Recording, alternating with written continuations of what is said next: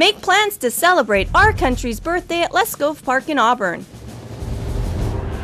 This hometown 4th of July festival is held from 11 a.m. to 4 p.m. on Thursday, July 4th.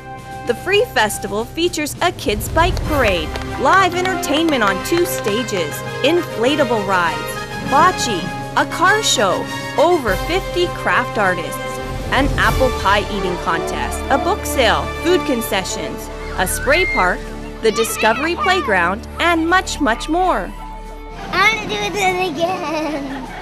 Other popular attractions include the trackless train, petting zoo, and pony carousel.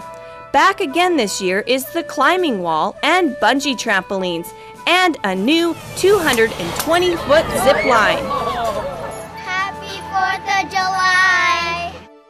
Purchase a wristband for $5 for unlimited activities and entertainment. Wristband sales begin at 10 a.m. Festival runs from 11 a.m. to 4 p.m. Zipline offered at an additional fee. The naturally shaded park will keep you cool during the afternoon.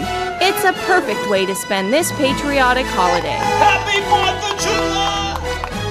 Auburn's 4th of July Festival is presented by the City of Auburn.